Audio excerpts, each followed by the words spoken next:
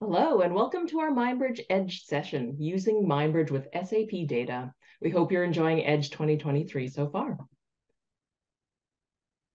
My name is Michelle Alexander, and I'm a Senior Advisor of Audit and Enterprise Transformation here at MindBridge. I'm part of the implementation team in MindBridge's Global Services Organization, and I lead the implementation of MindBridge for internal audit and finance teams that are starting their journeys with MindBridge. At MindBridge, I work very closely with my data engineer colleagues, supporting customers with many different ERPs, including SAP. Hi, my name is Winglan Chan. I lead the data solutions team here at MindBridge. My team works closely with our customers, helping out with all aspects of data from extraction, transformation, loading, and troubleshooting. Here's the agenda for our session today. First, we'd like to cover a bit of background about MindBridge and SAP. We'll then discuss the many ways how MindBridge can support your work with SAP data. Next, we'll provide an overview of some of the best practices or tips and tricks when working with SAP data. And then we'll show in Tool the impact of some of these best practices on a GL analysis and demonstrate how a rich dataset can add a lot of context and enhance MindBridge features. Feel free to enter any questions you have into the chat and we can respond as we go. So one of the key takeaways of this session is that one can definitely use SAP data in MindBridge, and it's absolutely achievable. We have many customers in both our audit and assurance and enterprise customer bases that are successfully ingesting SAP datasets. We understand that SAP datasets could be perceived as daunting due to the sheer volume of fields and data tables, but we at MindBridge really embrace this, as adding additional fields that will be useful for the end user can result in generating GL analyses with rich data that can add more value to the work being performed. Finally, SAP datasets are actually quite complementary to the MindBridge GL model, SAP's data types and columns are very well defined, which can lead to an easier experience when it comes to data field mapping, for example. Wing will show you some specifics regarding this later on in the session. Now we'd like to cover how MindBridge can support your work with SAP. As always, you'll have your dedicated MindBridge account team to support your journey. Your customer success managers, implementation advisors, data engineers, and support team have experience working with SAP data. So we will be able to support you throughout your team's journey with MindBridge. Secondly, MindBridge has a number of SAP-specific guides in MindBridge knowledge base, including detailed articles on how to export SAP data and also map SAP fields to MindBridge columns. These articles can help your users demystify the SAP tables and provide guidance on what fields are what. We recognize that not everyone will be familiar with the BSEG tables or SAP specific terminology, so these guides can really assist your users. In general, the MindBridge knowledge base is an amazing resource for MindBridge users, and for those of you who are not familiar, the MindBridge Knowledge Base is a portal with over 500 articles, guides, and answers to frequently asked questions about using MindBridge. It contains detailed articles on so many topics, not only SAP, but include, you know, including navigating MindBridge features, control points, and more. And you can easily access the knowledge base at support.mindbridge.ai or from the support section in your MindBridge tenant. Finally, from our extensive work with MindBridge customers that are using SAP, we at MindBridge have a number of best practices and tips and tricks that we will share with you. These best practices will certainly be integrated into your support from your account team throughout implementation and beyond. So on that note, I'll turn it over to Wing to discuss these best practices and tips and tricks when working with SAP. Thank you, Michelle. I'd like to talk about some best practices in data field selection, extraction, formatting, and mapping. SAP's data model fits very well with MindBridge. Furthermore, SAP's fields such as company code, document number, and posting date are consistent everywhere. Note that to avoid, to avoid any ambiguity with field name translations, we often refer to them by their field names such as BUKRS, BELNR, and BUDAT. This makes field selection very straightforward.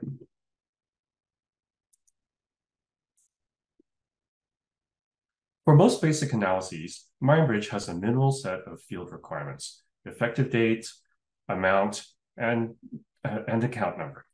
However, if you provided just those, you would not have a very rich way to look at your analysis. An important feature in MindBridge is filtering. Once your analysis is available, how do you want to look at it? Think about what, what matters to you. Are you concerned about a particular business process, a document type, or a T code, or perhaps a plant, a, um, a cost center, or a profit center, or maybe a company code, a country, or a region, and so on. Filtering provides a mechanism with which you can craft the way you visualize your analysis.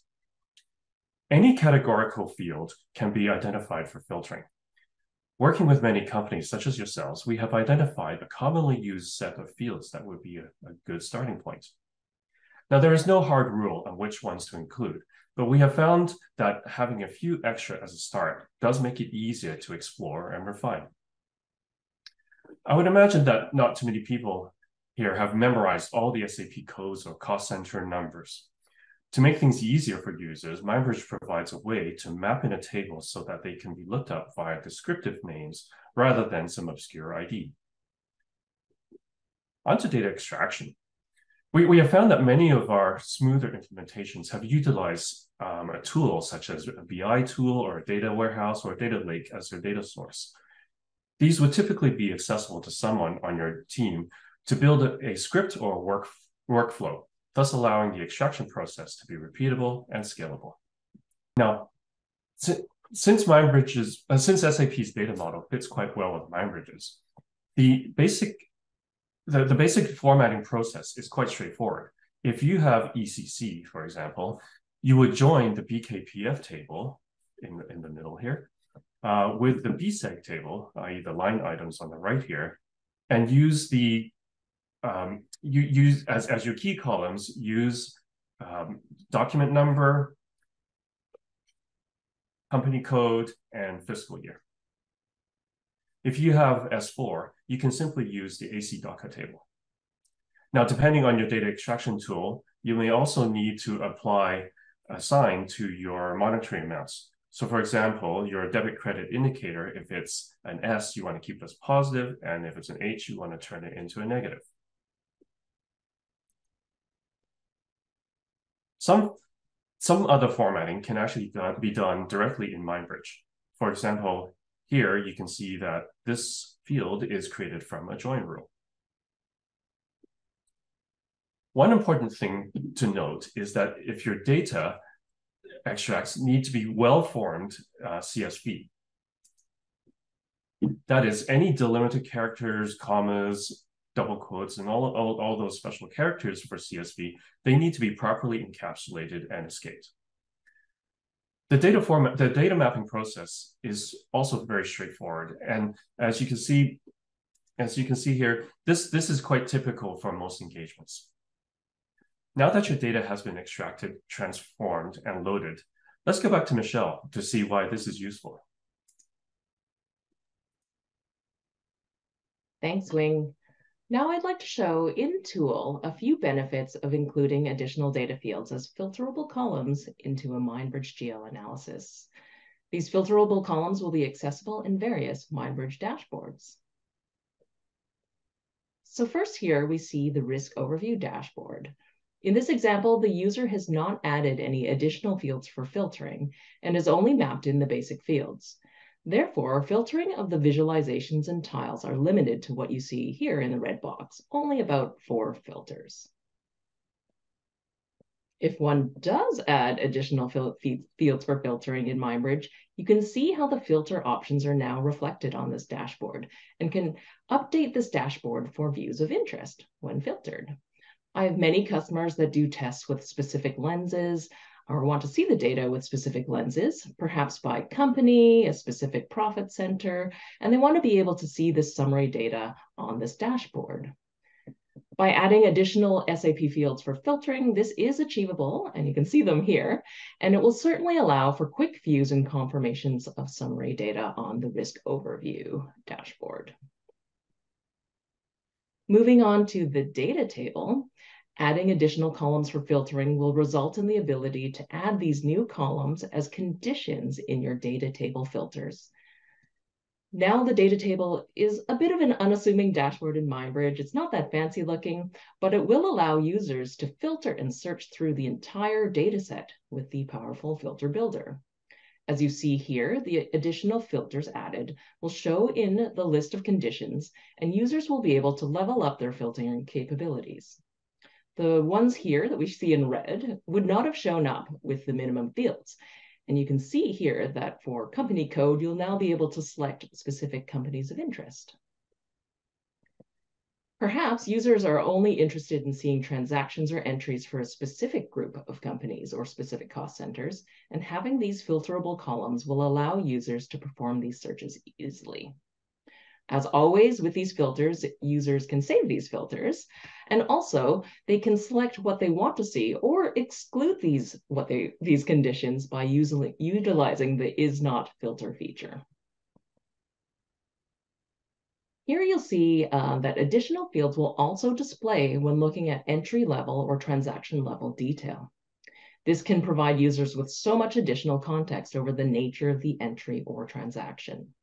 This can also reduce some of the need to go back into SAP to get those additional contextual elements, which can lead to stronger insights and also time savings by having these rich SAP data fields included um, and just at a click of a button here in the GL analysis.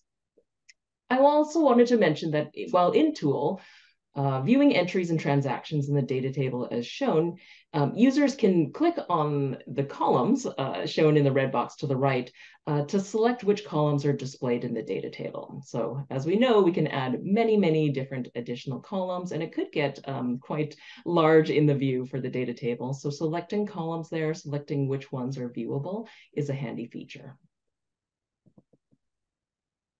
So next, I wanted to talk about MindBridge populations. So use of um, one MindBridge populations is one of our newest release features. Uh, and this can also be leveled up when users add additional columns for filtering. So if you're not familiar, populations are a different way of slicing and dicing analysis results in MindBridge. Users can use them to exclude entries or transactions that you know are not risky or are going to be tested separately. So like with filters, users can create populations from various conditions in order to help better focus your attention on specific areas. Once a population is created, you can use the populations filter to find or exclude activity on the risk segmentation and data table dashboards. This can help to provide deeper insights by reducing noise in your analysis.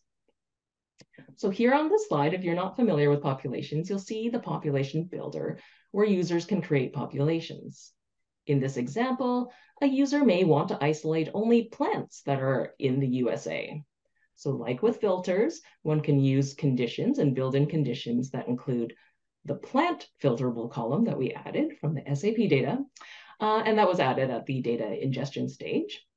When the population is created, then the user will be then able to add this USA plant population to filters in the data table or filter these populations in the risk segmentation dashboard. So this is a very basic example of a population, but populations can be created to be multi-layered, a combination of and, or, or conditions, utilizing conditions based on all those great SAP fields that were added for filtering. Again, these filters can be applied to show or exclude these population conditions.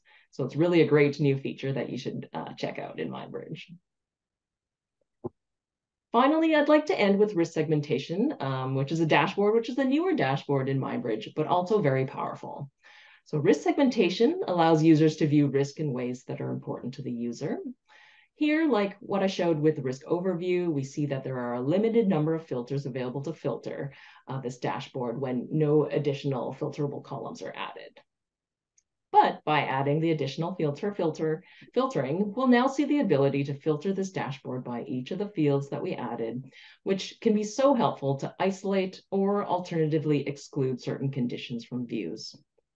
Perhaps you'd like to filter by activity by a specific functional area or a specific profit center or a group of profit centers. You can now do this uh, with these as we added these additional fields for filtering. Also note on that top line there of filters, you'll see populations. So this is where you one could filter by the populations previously defined, just like the USA plant example. So like with data table filters, these can now be added as data fields uh, in building risk segments. Users can now create multi-layered segments and slice and dice their data into custom data segments. So this example, we're creating a risk segment to show activity by three hier hierarchy layers. On the right, you can see under arranged data structure, you can see the fields that we're viewing the risk by. It is risk by company code, plant, and user. So essentially, this will break down the risk scoring and show the distribution of risk and details by these fields. When this segment is generated, the segment will show the breakdown of overall activity by the hierarchy indicated, which in this case is company code, plant, and user. In this segment view, you can see that there is a total of 42 high-risk entries. And if you're interested in seeing where these lie, you can see that. So 34 of those entries are attributed to the first user and eight to the second user. Furthermore, this dashboard view can be further filtered by many filters that have now been configured that we see on top. Therefore, one could further filter this specific dashboard by a specific cost center or even account. These, the opportunities are endless and really unlocked from adding rich contextful data fields that SAP provides. I do recommend that you watch the EDGE session that's dedicated specifically to risk segmentation in MindBridge called Segment Analysis, Ability to Set Focus and Zoom In and Out. So in summary, using SAP data is not only achievable in MindBridge, but can provide incredible additional depth and concept, uh, context to the analysis and the work performed. SAP data is complementary to our GL product, and there's expertise and support throughout the process from your MindBridge team. Uh, thank you. Uh, our contact information can be found on the slide, and we can use this time to address any questions that you may have. So Wing, it's looking like we do have some questions in the chat. Uh, let's see what we have here. Uh, this might wait for Wing here. If I have some data in SAP and some data in other ERPs, can I still use MindBridge? Good question. Um, it, it would depend on like a lot of people who have SAP probably have um, data in other systems that are actually already imported into SAP. Uh, typically, you would have SAP as kind of like the central your your main source of truth. So um, quite often we we do see that, um, and what we typically see would be just the SAP side of the data. Um, now, if you want to import from two different sources, um, it can be done, but then you have to kind of start to be cognizant of, um, you know, mixing um, metaphors and different structures and different meanings of terms. So you, you do have to um, um, make sure that, you know, what is an effective date in one system is the same as the other one. Um, so our data team can help you out to to decipher some of these when when it comes time. Great, and we have another question. If I separate instances of SA, if I have separate instances of SAP for each business, can I still benefit from saving filters and or populations?